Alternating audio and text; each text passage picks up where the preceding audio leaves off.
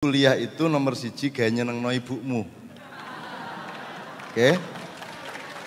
Dan nek awakmu nyenengno ibumu, nyenengno bapakmu, nyenengno keluargamu, Allah seneng awakmu, engko awakmu digampangno masa depannya.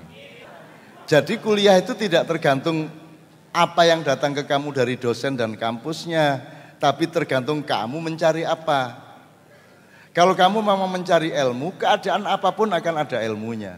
Ojo menekuk kuliah kon langon sapi lho ilmune sak ambrek.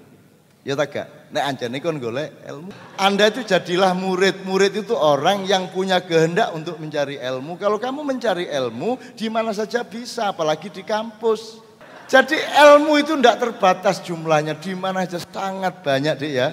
Loh. Jadi saiki yang penting akurasi tujuanmu, wasilah dan goyahnya itu.